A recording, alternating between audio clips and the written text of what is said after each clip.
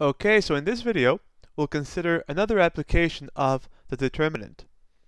And this application is called Cramer's rule. And as we'll see, we can use determinants to actually solve for a linear system. So here's the assumptions.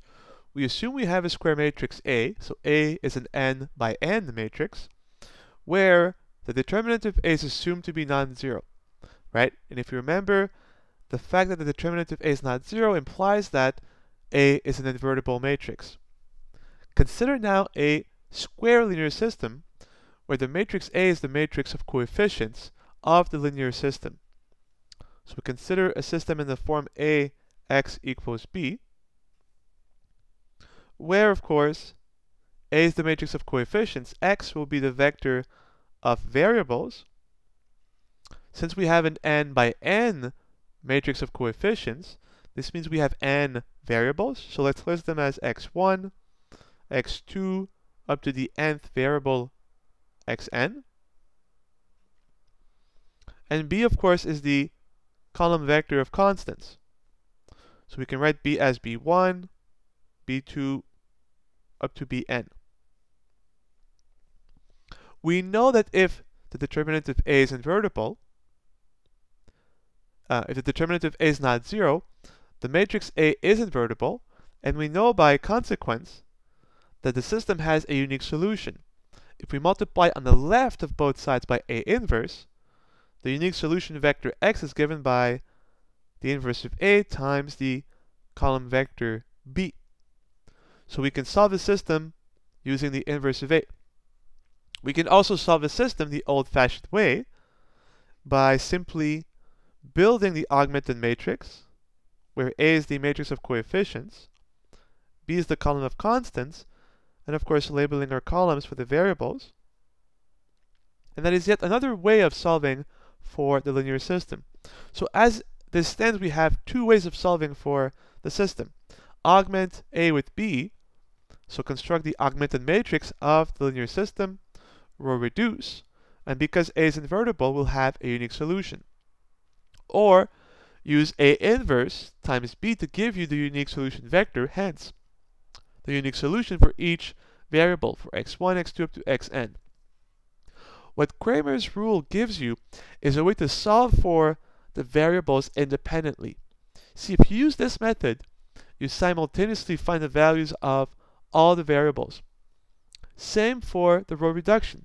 Once you row reduce fully, and then use backward substitution, you'll solve for all n variables.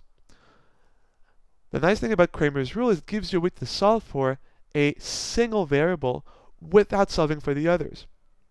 And here's what Cramer's rule says.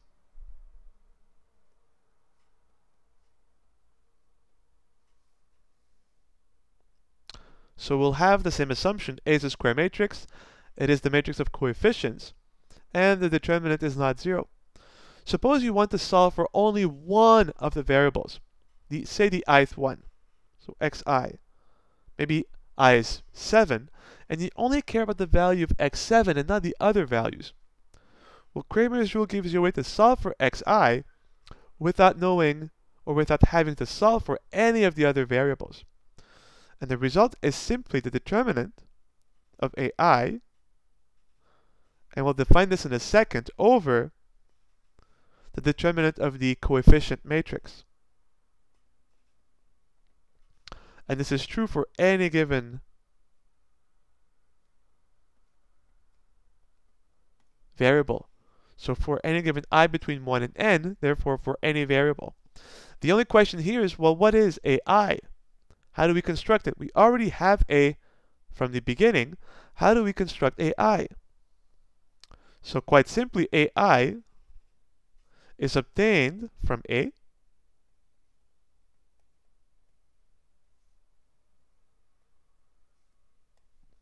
and we tweak A a little bit. So AI is obtained from A by replacing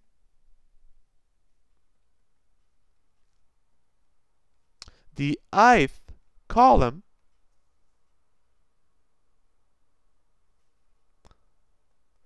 by quite simply, the column of constants by B.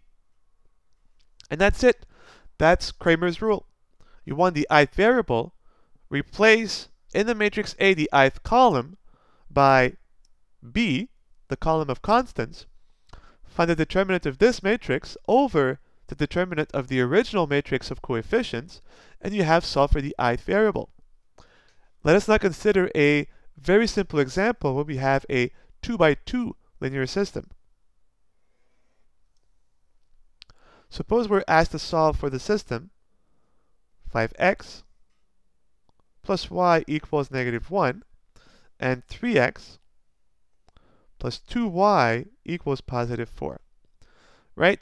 We know we can solve for the system using row reduction.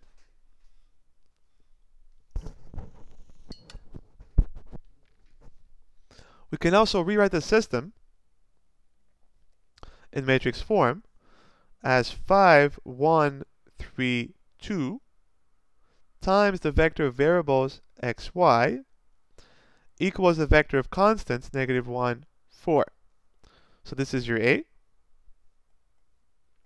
This is your uppercase X, the vector of variables.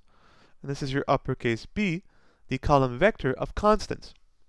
So we could solve for the system using row reduction. We could invert A and solve for the vector of variables this way.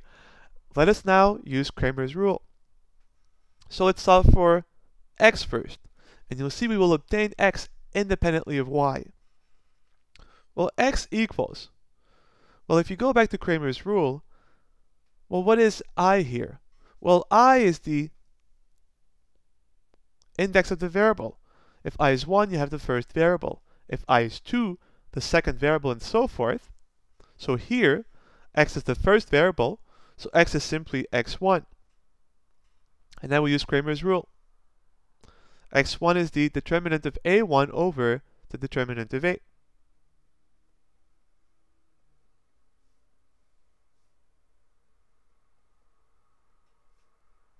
Well, determinant of A, this is a 2 by 2 matrix. So we have the determinant of the matrix 5, 1, 3, 2. On top we have the determinant of A1. Well, this will also be a 2 by 2 determinant. And now, well, how do we obtain AI? It is obtained from A by replacing the ith column by B. So here we take A, but we replace its first column, 5, 3, by b, negative 1, 4. And we keep everything else the same. So replace the first column of a by the column b, but leave everything else the same.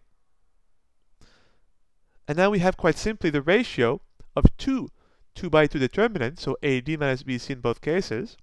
So what do we have on top? Negative 2, negative 4, negative 6 over 10 minus 3, positive 7. And there you have it. x is equal to negative 7, negative 6 over 7. And we have no idea what y is, and that's the nice thing about Cramer's rule. It allows you to solve for a variable independently of the other variables. Let us now solve for y. Well, y is the second variable so it equals x2. And x2 is quite simply the determinant of a2 over the determinant of a. Now we already found the determinant of 8. It's equal to 7. So don't do that again. It's over 7. Determinant now of A2. Well, how do we obtain A2? We take the matrix A and replace its second column. So replace this column by once again b. So the column 1, 2 is now replaced by negative 1, 4. And everything else stays the same, so the first column 5, 3 stays 5, 3.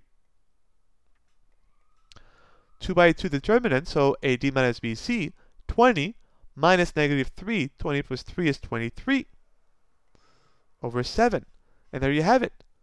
y is 23 over 7, x is negative 6 over 7 we now have found the unique solution to the linear system.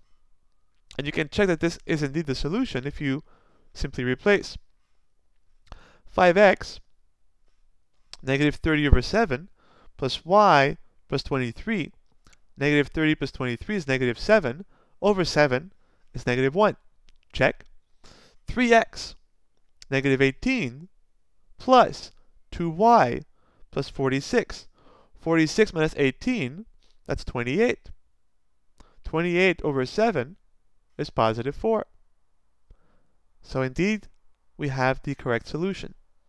Now, it is worth mentioning that Cramer's rule is nice, but at the same time, it's not so nice. The reason it is nice is it allows you to solve for a single variable independently of the other variables. But if you think about this, to solve for the variable xi, you have to compute two determinants. It's not much work when you have a 2 by 2 system. But if you had, say, a 3 by 3 linear system, you would have here determinants of 3 by 3 matrices, and that's a lot more work. If you had a 4 by 4 linear system, you'd have 4 by 4 determinants. So if you want the complete solution set of a linear system, Cramer's rule is a bad idea because the determinants are a lot of work to compute, so you're much better off with row reduction. On the other hand, if you want a single value of a linear system, Cramer's rule gives you a really efficient way of finding that value, especially when you have a small system, as in this case, we had a 2 by 2 system. So Cramer's rule was actually very nice. One last comment is, you see, even though at the very end, we had a fraction over 7, nowhere in the calculations did we have to handle fractions. They just pop up at the end. And that's one nice property of Cramer's rule. If your system is consists of integer values, you'll never have to deal with fractions, even though at the very end, the answer may be um, including fractions. And that is Cramer's rule.